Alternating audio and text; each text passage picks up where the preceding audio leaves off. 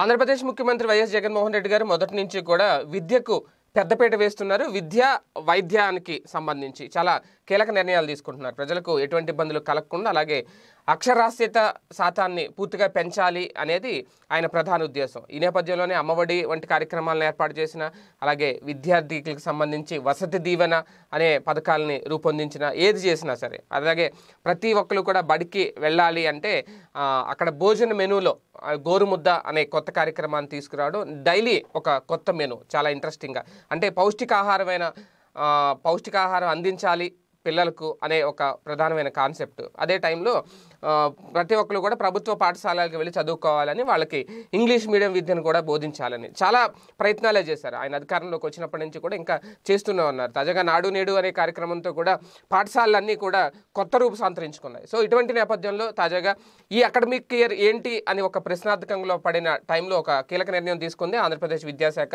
September ఐదో తేదీ నుంచి స్కూల్లో ప్రారంభించాలి అనేది. అలాగే కాలేజీలు కూడా ప్రారంభించడానికి కూడా కీలక నిర్ణయం తీసుకుంది స్కూళ్ళు కాలేజీలు ప్రారంభించాలి. అయితే ఇప్పుడు తాజాగా కేంద్రం ప్రస్తుతం ఉన్న లాక్డౌన్ నిబంధనలను ముప్పయో తేదీ వరకు కొనసాగిస్తోంది. స్కూళ్ళు కాలేజీల విషయంలో ఇటు పరిస్థితుల్లో సెప్టెంబర్ ముప్పయో తేదీ వరకు స్కూళ్ళు కానీ లేదంటే కాలేజీలు కానీ పాఠశాలలు ప్రారంభించడానికి వీలు లేదు అనే తాజాగా మార్గదర్శకాలు జారీ చేసింది. అన్లాక్ ఫోర్ పాయింట్ ఓలో స్కూళ్ళకు అనుమతి ఇవ్వలేదు. స్కూళ్ళు కంప్లీట్గా క్లోజ్లోనే ఉండాలి మూసివేసి ఉంచాలి అనేది. ఒక పక్క తల్లిదండ్రులు కూడా చాలామంది తమ పిల్లలను ఇప్పుడున్న పరిస్థితుల్లో పాఠశాలకు పంపించడానికి అంగీకరించట్లేదు.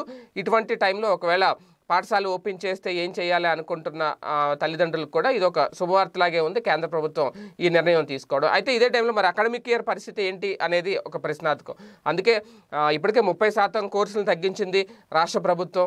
అలాగే పని దినాలను కూడా తగ్గించింది స్కూల్ పని పని దినాలను. దాంతోపాటు దసరా అలాగే సంక్రాంతి సంబంధించి ఈ ప్రత్యేక సెలవులు హాలిడేస్ ఏవైతే ఉంటాయో వాటిని కూడా పూర్తిగా తొలగిస్తూ తక్కువ పని దినాల్లో కోర్స్ కంప్లీట్ చేయాలి. ఈ అకాడమిక్ ఇయర్ రెండు వేల ఇరవై ఇరవై ఒకటి academic year zero academic year కాకూడదు అనే ప్రయత్నాలు అయితే చేసింది. అయితే ఆ ప్రయత్నాలకు ఇప్పుడు తాజాగా కేంద్ర ప్రభుత్వం తీసుకున్న నిర్ణయం అడ్డుకట్ట వేసింది అనేది రాజకీయ విశ్లేషకుల అభిప్రాయం. ఎందుకంటే ఇప్పుడున్న పరిస్థితుల్లో మళ్ళీ స్కూల్స్ ఓపెన్ చేసి పాఠశాలలు ఓపెన్ చేసి పిల్లలను పంపిస్తే కనుక ఈ కరోనా మహమ్మారి స్ప్రెడ్డింగ్ ఇంకా పెరిగితే పిల్లల ద్వారా మళ్ళీ కుటుంబం అంతటికీ వ్యాపించే అవకాశం ఉంటుంది. పిల్లలకు ఒకవేళ కరోనా సోకిన ఇబ్బందులు ఎదుర్కోవాల్సి వస్తుంది.